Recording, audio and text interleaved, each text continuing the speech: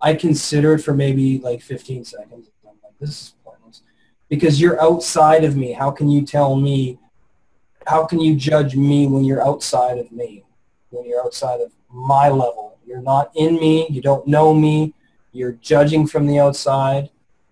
It's impossible to do that. I think. And I think as humans, we want to judge because we want to have some degree of control over how that person behaves or how that person acts or what that person behaves like. And I, I think that's where judgment stems from. Or there are those that just like to put others down because it makes them feel better. That's my it's point. a false, a false sense and Yeah. a false checklist, but it happens. Yeah, it's, it's, it's and that's where your abusers come in.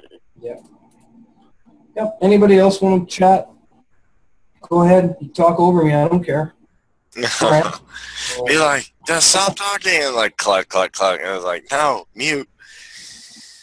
For me, this is interesting because I, I was self-conscious about, I think back in the day, maybe how, like my weight or the fact that I was skinny or maybe something else or where I came from or all this goofy stuff that really didn't matter. And by paying attention to it, like, or if I had acne, I'm like, oh my God. uh," And then people would pay attention to the stuff I was paying attention to because I was putting so much attention on it. Ah! And then when I stopped doing that, they actually noticed the better qualities of me and that didn't matter. And, and that's not to say like, oh, you know, I should break my teeth up or I should look funny or weird or I should put on a bad appearance. But if something bad happens, something goofy happens to me, I don't put attention on that. Like if I break my arm, I'm not going to be like, oh, hey, check out my cast. Look, I'm gimpy today. Woo! Uh, I'm going to just say, okay, you know, had an issue with my arm. What are you guys doing But, today? You are gimpy. Topic? That's your name. You're Gimpy. So I'm gonna start calling you. Remember, you're Gimpy. oh, you're killing me. Yeah, Nobody I was in- I was invited to a bridal shower Uh oh. uh, last week, so I went, and the, the young girl was getting married. I think it, I think she's getting going to be a June bride. Anyway, uh, I I told her I will bring the something blue to the wedding, and Do varicose veins count because at 67, that's the bluest things I got. Did you get any phone and- numbers for me from the bridesmaids? No, but I'll work on it, Chris. okay, thank you. I will work on it. oh, come on, guys. You know me by now. I'm gonna throw that out there. hey, Chris, maybe you could catch the bouquet. How about that? Oh, yeah. Hey guys, I actually got to go. I just messaged you. I have to, have to go though. I don't want to just. Uh, I didn't want to interrupt or anything, but I do have to go. It's uh, you know. But anyway, Go ahead. it's, it's great. Alright. I'm glad uh, listening. I, I did want to say some things, but I just I have to go now, so it's too bad. But um, that's all right. Hey, brother. Well, I'll be in touch with you soon. Yeah, Yeah. keep it in mind. All right. Talk to you guys soon. Okay. Bye. for Cheers, buddy. Bye-bye. Have a good night, eh? Okay. Yeah, man. Carly's here. Carly! What about Carly? What does she think of all our madness and ranting? And she unmuted. And Jay's here. Woo! Jay came in. Jay from the downliner.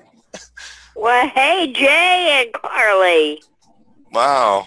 Getting famous. We are. Oh, Jay's not here anymore. He left. Oh, wait, no, he Yeah, he's still here. Oh, Carly, go ahead. Yeah, I think that, you know, when you, I think, not confident and you put a lot of pressure on yourself, you're more likely to um, fail more or, you know, you're, I think you're the only one really seeing it than everyone else and you put too much on your shoulders and basically setting yourself up to basically fail before you've started. Ah, I like that. I like So it's like uh, Napoleon Hill says, if you believe you can't and won't, you're doomed before you're whipped before you start. Yep. Yep. I Yeah. like it. And Jay, I know you just came in, so I want to get you up to speed. We're doing the Power Hour about the 10 harsh lessons to learn as entrepreneurs.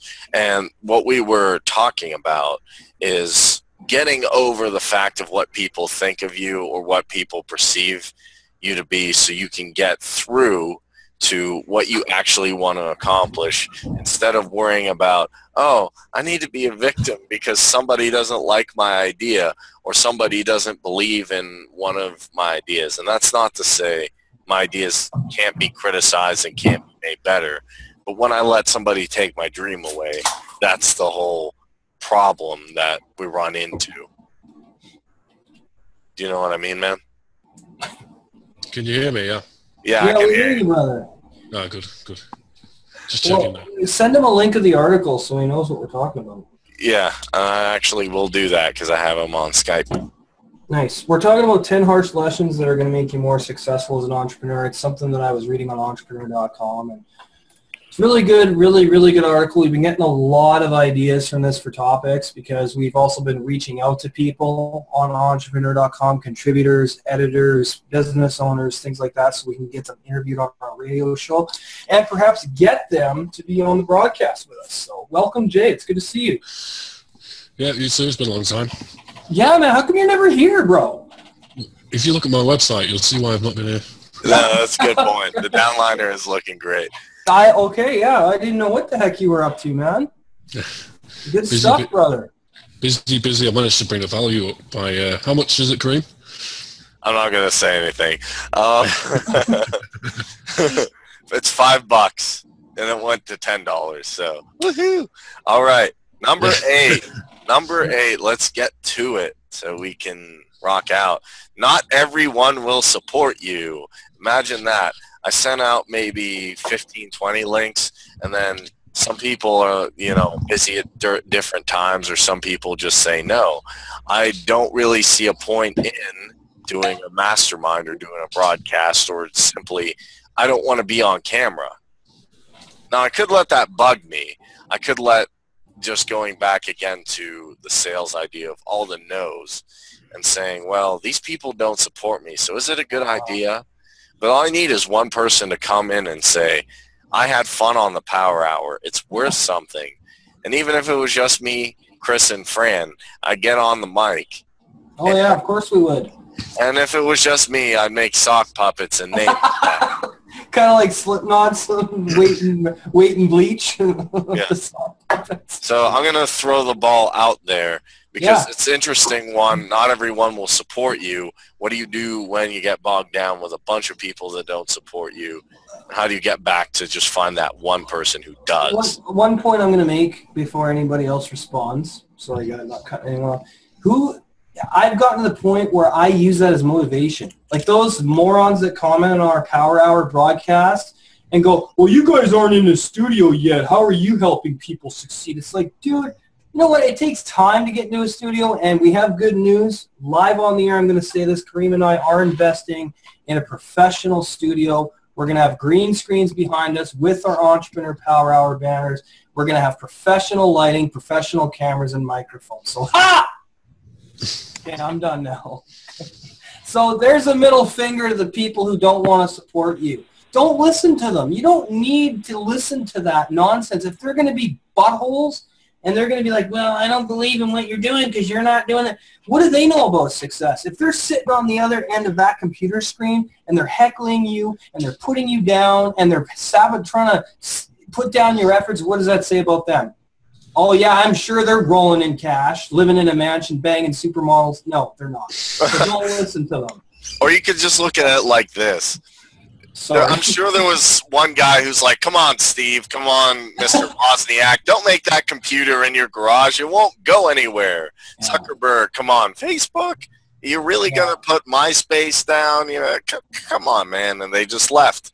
And same thing with Michael Jordan's coach, if he's still alive. He Oh, probably does not feel all that happy. He's like, man, or, or, or the people who fired Walt Disney from the newspaper, probably not the happiest people. They probably go to bed every night thinking, you know, uh, I wish I didn't treat so-and-so like that, or I wish so-and-so was still employed or playing for my team. hmm And um, then, I'm and then one day I see us there, you know, because we're, I mean, Jay, you're not the only one who's fancying up stuff.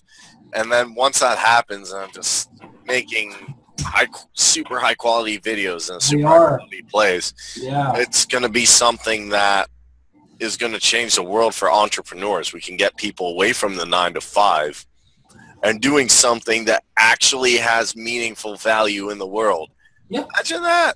No, I know. And and all those naysayers, they're the ones that are going nine to five, walking around Monday morning. You're like, hey, how's it going? Don't talk to me. I haven't had my coffee yet. What are you talking about? Good morning. It's like, wow, dude. You know, it's the sun's the sun's still in the sky. I mean, why why aren't you happy this morning?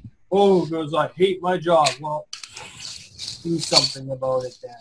Yes. So yeah, I mean, it's You so- have a choice. You ha- you can get a camera. You have a phone. You have ideas here. I hope you do have ideas here, or if that you might want to change that. But you have a phone.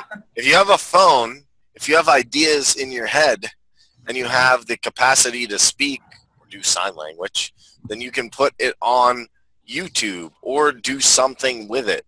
And that that's the whole idea. That's why I write software documents. That's why I do this show. That's why I do the radio show.